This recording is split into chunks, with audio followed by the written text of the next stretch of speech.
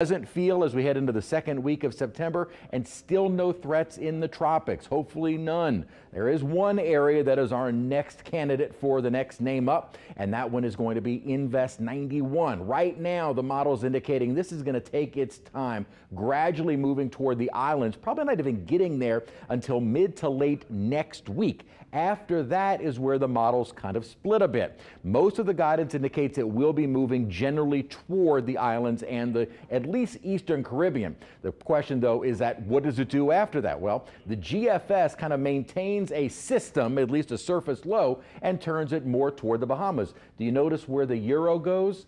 it dissipates it. So there is still quite a bit of uncertainty with this one, and there is still, like I said, this is next Sunday. There's still a lot of time to watch that one. And even in that time frame, models remain pretty quiet in the Gulf. Rain chances slim to none tomorrow. We'll have about a 20% chance into the weekend. That drier air moves in, and I think high temperatures, more upper 80s or low 90s, at least a more comfortable feel next week.